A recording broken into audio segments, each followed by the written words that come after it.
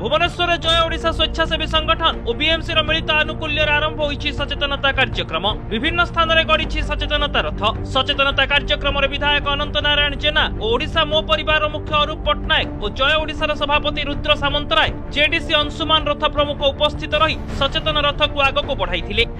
basically আমার দশ জন volunteer রয়েছে সেমানে আজি যেমন শহীদ নগর রহিলা শহীদ নগর এরিয়ার লোক মানুষ নেই ତାଙ୍କ ବିଏମ୍ସିର ଗାଇଡାନ୍ସରେ ସେଇଠି ଯାଇକି ଘର ଘର ଯାଇକି ସଚେତନ କରିବେ